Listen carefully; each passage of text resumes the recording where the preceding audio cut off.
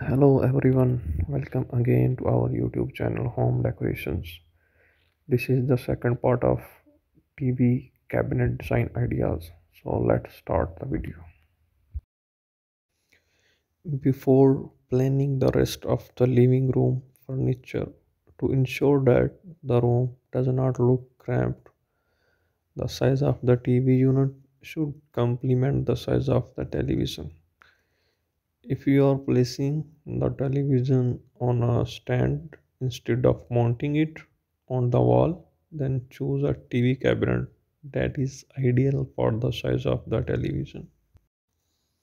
As a rule, the TV cabinet should either be of the same size or larger than the television screen.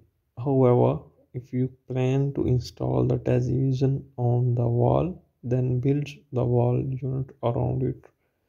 Whether you choose stands or modern built-in TV wall unit designs, it's advisable to have storage space for the entertainment gadgets as well as display space for decorative accessories to keep the living room looking organized and well decorated. In small homes, it is better to have modern built-in wall cabinets that optimize space utilization.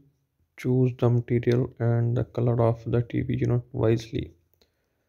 The type of material and the color of the TV unit should match the overall decor of the living room.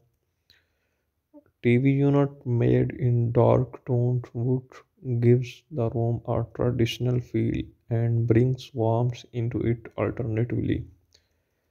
You can choose the color or material of the TV unit to match the color scheme or theme of the living room furniture for modern TV unit designs. Usually metal is used. However, wooden TV furniture has become quite popular as they come in innovative styles and varied color options that look good and are available in a wide range of budgets. The price of TV cabinets and wall mounted TV units varies between 6,000 to $5000 depending on the size, material, style, and type of TV unit design. Select the TV unit to suit your lifestyle. When picking a TV unit, ensure that is perfect for your needs and lifestyle. Besides matching the decor of the room,